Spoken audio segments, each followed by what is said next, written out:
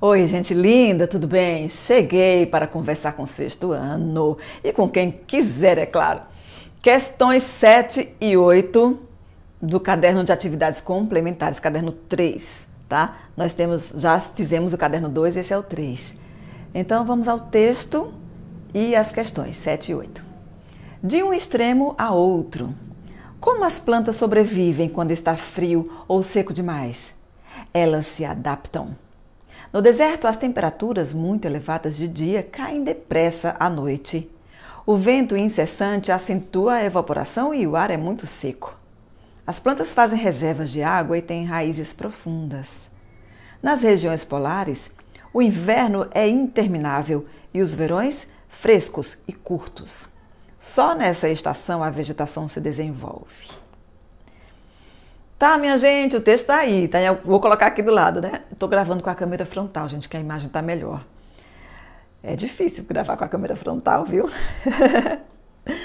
Vamos à questão 7. Na frase elas se adaptam, na linha 2, a palavra destacada se refere às. É, vamos lá no texto, vou colocar o texto aqui de novo, olha. Como as plantas sobrevivem quando está frio ou seco demais? Elas se adaptam. Então, elas se refere às plantas, né? O referente do pronome elas é letra A, plantas. Então, na frase elas se adaptam, a palavra destacada se refere às plantas, letra A, questão 7, letra A. Não é as regiões, não é raízes, não é as temperaturas. Letra A, 7. Fácil demais, né, minha gente? Estamos estudando pronomes e elas é o pronome pessoal. Muito bom, muito bom.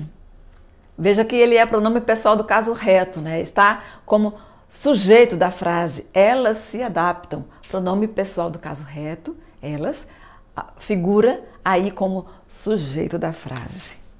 Questão 8.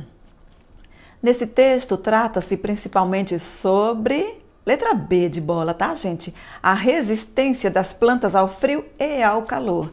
Esse é o tema central do texto, com certeza. Letra A, a distância entre as regiões frias e as quentes? Não, o texto não fala sobre distâncias.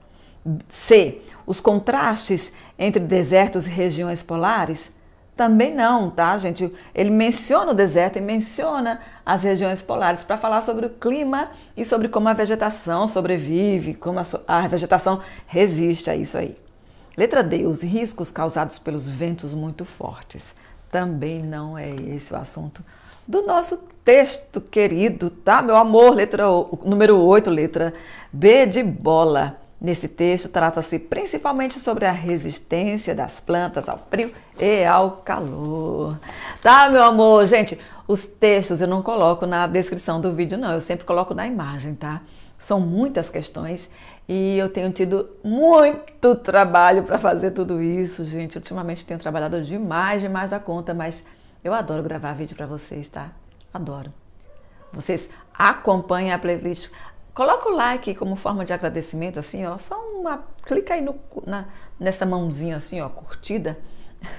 Se inscreve no canal. Sinta-se em casa, tá bom, meu amor? Luz e amor. Tchau, tchau.